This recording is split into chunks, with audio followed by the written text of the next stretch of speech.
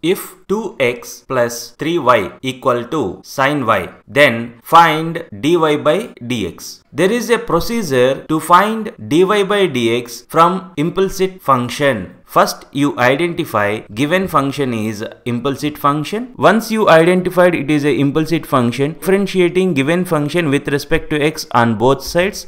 Once differentiation is over, you write all dy by dx terms at one side. Step 4. Take dy by dx common. You observe for the given equation as I am differentiating with respect to x, I written d by dx on both sides. It is nothing but we are differentiating complete given equation with respect to x. From the basic differentiation, d by dx of 2x plus 3y is d by dx of 2x plus d by dx of 3y equal to now you observe here d by dx of sin y. It is important in previous classes we learn how to differentiate these type of things. However, I'll explain here. d by dx of sin y. The given function is in terms of y. We are differentiating with respect to x. So you treat this y as x as per chain rule. You treat this y as x. Now it looks like d by dx of sin x. d by dx of sin x is cos x. But you treated y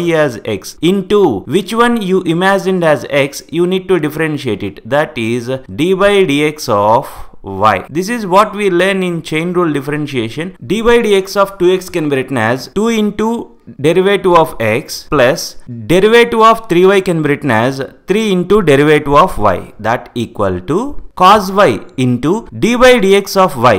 dy by dx of y is nothing but dy by dx. Now Further, if we differentiate this, 2 into derivative of x with respect to x is 1 plus 3 into d by dx of y is nothing but dy by dx equal to cos y into dy by dx. Now you see here we are following particular steps. Step 1 we identified given function is implicit function. Step 2 once you identified given function is implicit function you differentiated complete equation with respect to x on both sides. Once this differentiation is over step 3 write all dy by dx terms at one side. Now you observe in left hand side also dy by dx terms are there and right hand side also dy by dx terms are there. So I'll write all dy by dx terms terms at one side. You take cos y into dy by dx to left hand side then it will become minus cos y into dy by dx that equal to in left hand side 2 into 1 is 2 is there you take it to the right side then it will become minus 2.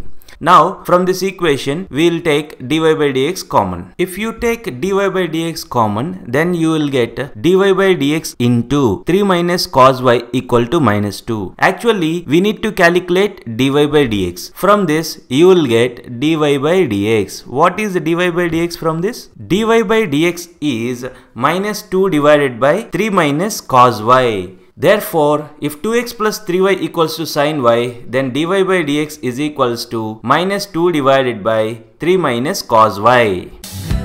I hope you understand this class. If you like this video, please press like button below. Share this video with your friends.